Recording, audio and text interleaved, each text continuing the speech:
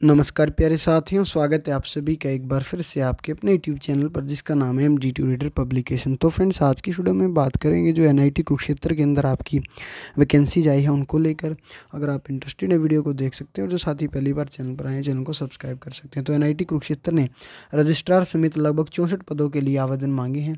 इनमें अब कौन कौन सी पोस्ट हैं और कितने कितने पद हैं, वो आपको बताने जा रहे हैं।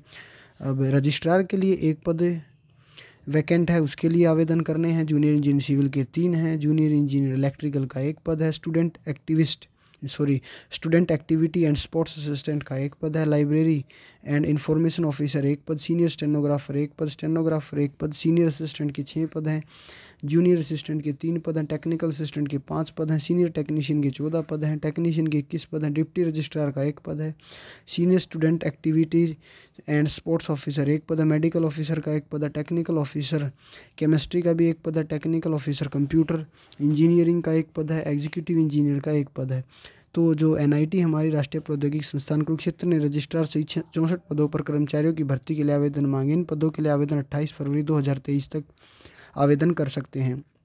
लास्ट डेट इसमें अट्ठाईस फरवरी है। रजिस्ट्रार के लिए कई बार विज्ञापन मांगे जा चुके हैं, लेकिन रजिस्ट्रार के पद पर भर्ती प्रक्रिया सिरे नहीं चढ़ पाई थी। इसके चलते पहले निकाली गई रजिस्ट्रार की भर्ती प्रक्रिया को रद्द करके एनआईटी प्रशासन ने एक बार फिर से रजिस्ट्रार पद के लिए आवेदन मांगे हैं। एन कुरुक्षेत्र में पिछले कई साल से रजिस्ट्रार का पद खाली पड़ा। पहले एनआईटी के शिक्षक प्रोफेसर सुरेंद्र देसवाल को जो है कार्यवाहक रजिस्ट्रार बनाया गया था। वही अब जी आर सामंतरे को कार्यवाहक रजिस्ट्रार बनाया गया। अब कर्मचारियों की कमी होगी दूर जो अभी तत्कालीन निदेशक हैं। निदेशक professor B B Raman Reddy ने कहा कि एनआईटी में शिक्षकों और कर्मचारियों के पचास प्रतिशत से अधिक पद खाली पड़े थे।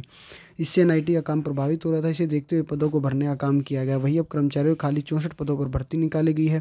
प्रोफेसर रेड्डी ने कहा कि सभी खाली पदों को प्राथमिकता से भरा जाएगा और ये उनकी प्राथमिकता में शामिल है। इसके साथ ही कर्मचारियों की पदोन्नति का प्रोसेस भी जल्द शुरू किया जाए ताकि जल्द से जल्द प्रक्रिया पूरी हो सके। तो फ्रेंड्स अगर आप एनआईटी के अंदर जॉब करना चाहते हैं तो मैंने आपको बताया कौन कौन सी वैकेंसी के लिए भर्ती आई है, आप अप्लाई इसमें कर सकते हैं। सिविल जेई के लिए यहाँ पर आपको तीन साल का डिप्लोमा चाहिए। इलेक्ट्रिकल के लिए तीन साल का डिप्लोमा चाहिए। डिटेल नोटिफिकेशन आप वेबसाइट से डाउनलोड कर सकते हैं। आज के इस वीडियो में फ़िलहाल इतना ही। धन्यवाद।